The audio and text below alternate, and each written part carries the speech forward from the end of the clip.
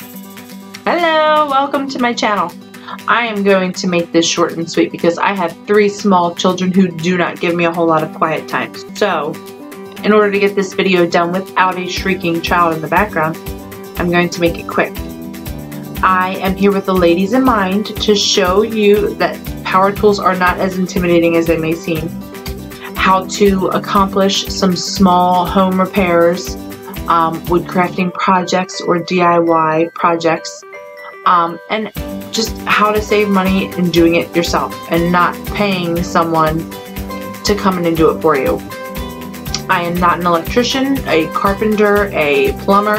I am just a girl who's been doing this for many years now who has learned from experience and has a lot of information to share on getting these projects done effectively, efficiently, and saving a lot of money in doing them herself. So, in order to take your honey-do list and turn it into a mama did it list, I am here to help. Make sure you like my page, subscribe so you see any new videos that I post. If there's anything in particular that you would like to see, please comment down below and I will do my best to get a video out as soon as possible.